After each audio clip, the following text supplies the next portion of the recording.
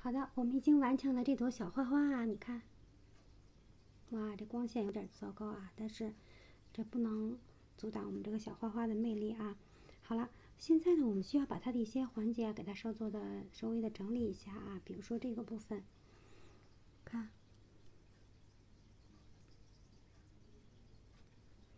我们收线头的这个工作呢，就是为了把这个不好看的线头呢，给它做个整理啊。千万不要由于收线头而破坏了我们这个花朵的这个整体的样子啊，所以一定要非常的小心才好啊。好，然后把白色的这个长的这个中间位置这个线头再勾过来。其实你只要收好就行，而且没有影响花纹的这花朵的主体就好了啊。好，包括后边这个黄色的花蕊的部分啊，也给它稍微的记一下。实际上之前呢已经打过很结实的结了啊，因为这种黄颜色是属于棉线，所以打了一个结以后呢会非常结实啊。然后多余的部分我们都可以放心的给它剪掉了，包括白颜色的部分。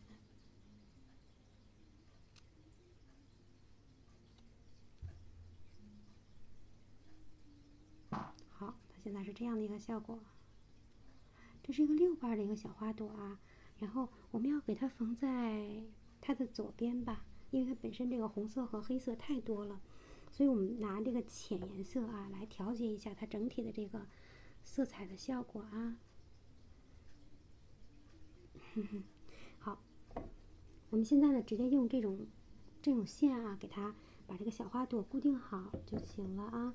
而且非常的容易，并不复杂啊，跟咱们之前的所有的这个缝合相比，它还是太容易了。如果你有白线最好啊，如果没有白线的话，我们就要尽量的绕开一些呃非常敏感的一些位置，然后把它很巧妙的固定住，而且又不露出我们这个这个线的色彩来，单线缝就完全可以了。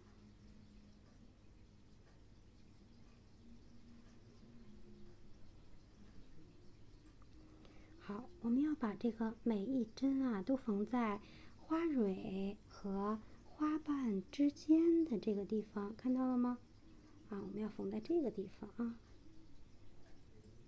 这样花瓣呢既可以再动，啊，显得很活泼，不是很死板啊，而且重要的一点是，我们还把它很好的固定住了，同时啊，对缝线的颜色也没有那么多的要求啊。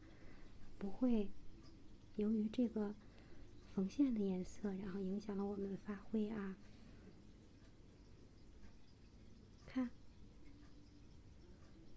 即便是你用相同的白色线来缝，我们也尽量避免不要在这个花瓣的这个这些位置啊去缝合。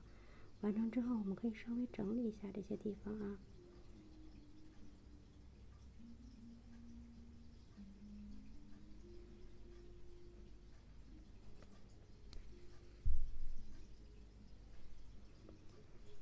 如果你的是一个小宝宝，男宝宝啊，你就可以不给他缝花朵。但我觉得缝一个小花朵很有意思啊，因为这个瓢虫，它本身就是大自然里边的一个小动物，对不对？还有经常在花丛中间，所以有一个小花朵啊，很正常。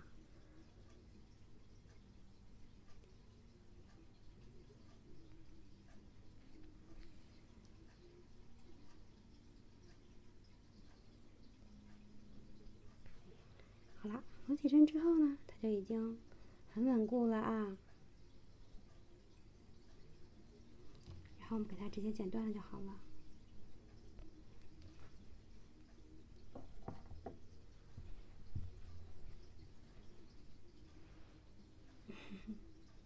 喜欢吗？在你们不留意的时候，我把这一面呢缝好了啊，因为我真的好担心，我怕在直播间里边缝的时候两个。差别太大哇，这都有点差别哦，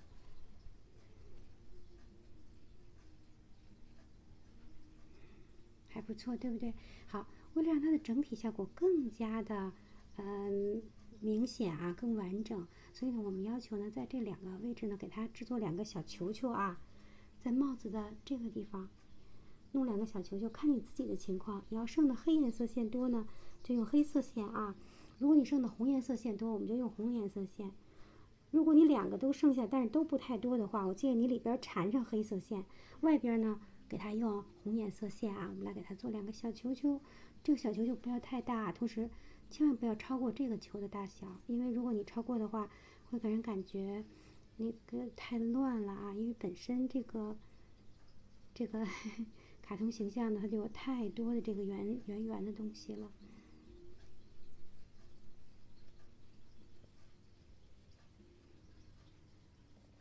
好了，剪断。还记得我们当时那个眼睛是怎么做的吗？跟眼睛的做法是一模一样的啊。然后依然是拿我们的，哎呀，我这时候应该换一个别的颜色的线啊。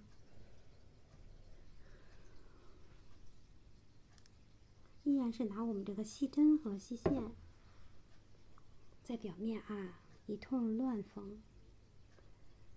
所谓的乱缝，实际上呢，就是为了把表面上那些无法控制的、呃，活动性很强的那个浮着的毛线的线段啊，一颗一颗的线段，给它很好的固定住，给它绑住。我相信大家已经非常有经验了啊，因为之前我们已经完成了它的那个眼睛的部分。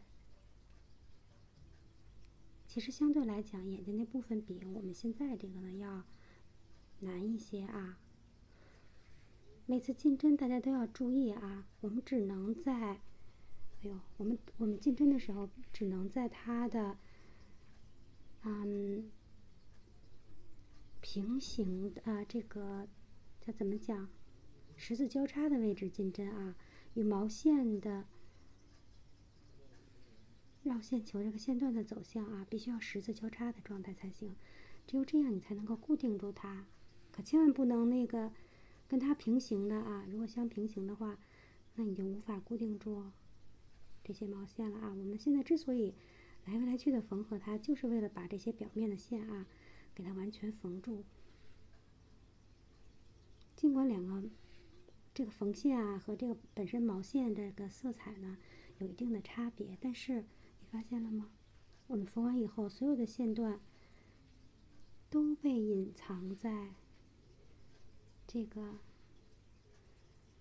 毛线的这个绒毛里边了，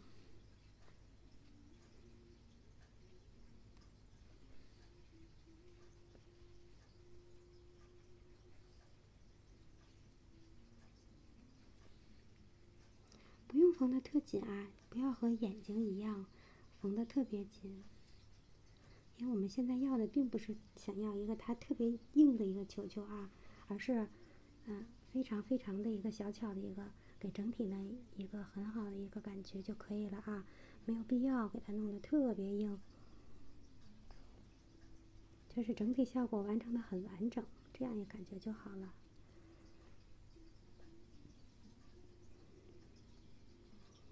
哎呀，其实设计的时候还是有些遗憾啊，我们当时应该勾五个这样的球球就好了，然后剩下的两个勾五个这样的小片儿。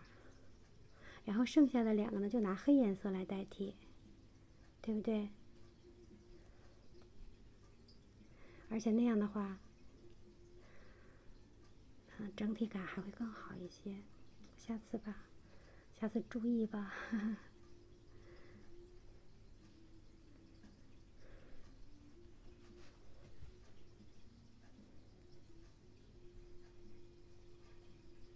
缝结实以后呢，就可以直接给它剪断了啊。另外一个的制作方法呢，和它和这个小球球啊是一模一样的。你看，侧过来啊，它是这样的一个小球，就是起到一个纯纯的装饰性的作用啊。那它的整体效果呢，就是比较完整一些啊。另外一侧的小球球呢，和它是一模一样的，大家已经知道了，对不对？并不复杂，就是绕两个球球就好了。看你自己剩的毛线多少啊。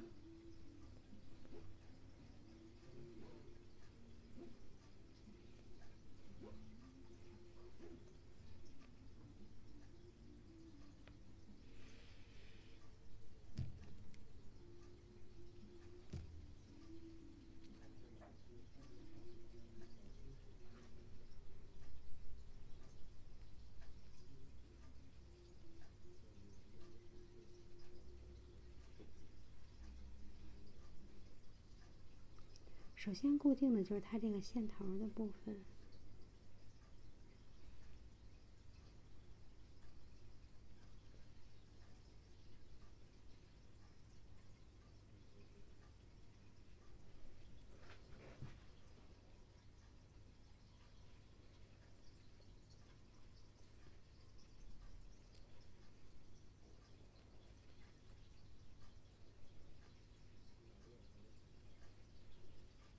你看，我们现在这个地方呢，应该是最后一个环节了啊！在大家的见证之下，我们一起把这个可爱的小瓢虫的帽子呢就完成了。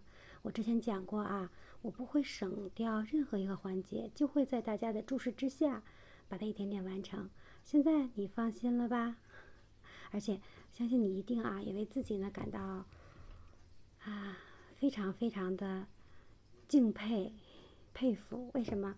因为最初的时候你是怎样怀疑自己的？还记得吗？你当时认为自己能够完成这样的一件小帽子吗？你是不是当时特别怀疑自己，甚至也怀疑到老师啦？但现在好了，你已经完成了，对不对？呃，在下一个视频当中呢，还会教给大家，嗯，一个非常非常可爱的一个卡通造型的。啊，一个动物造型的吧，动物造型的一个小可爱的帽子啊。最近我觉得我特别喜欢设计帽子，所以给大家推出的教程呢，也是跟这个帽子相关的系列啊。希望将来大家只要是一想到哦，我要给宝宝织个帽子，就能够立刻想到我们的频道，在这里边你一定能够找到非常非常多的。令你眼花缭乱的各种各样的宝宝的帽子的造型啊！如果你有喜欢的一些形象，或者是一些啊喜欢的动物啊，可以跟我说一声，然后咱们一起啊设计一些非常可爱的动物的形象，然后我们会制作成教程啊，让你和其他的这些编织爱好者、这些学生都能够学到这些可爱的。小帽子啊，好，找到正中间，给它缝好。现在你知道了吧？它真的不复杂啊，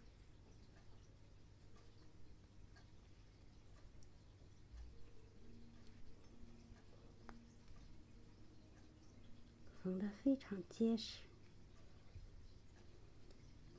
在下一个视频当中呢，我会给大家详细的再讲解不同的年龄段、不同头围的人，如果想要这顶小小的瓢虫的帽子啊，我们要怎样完成它？针数是多少？向上织的高度是多少？都会给大家一一的再重新的归纳，并且重新给大家讲解，这样你就会为不同的年龄段、不同。头围的人织出非常合身的啊，非常适合他们戴的这样的一个小帽子了啊，是不是很棒？现在非常佩服自己，对不对？你也会织小帽子啦，每一部分啊都非常非常的可人，看着非常非常的招人喜爱啊。好了，下一个视频一定要来呀！